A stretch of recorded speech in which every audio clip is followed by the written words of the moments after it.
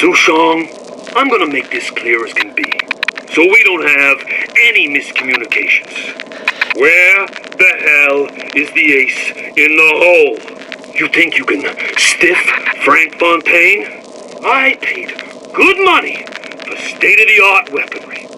I ain't losing this war just because you found yourself a higher bidder. I can promise you, I ain't never been one to lose with dignity. Suchong, what the hell were you thinking? Drinkable plasmids?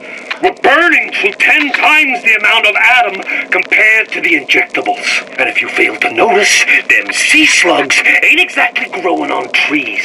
Switch back to the injectables and let the eggheads in marketing worry about selling it to the chumps.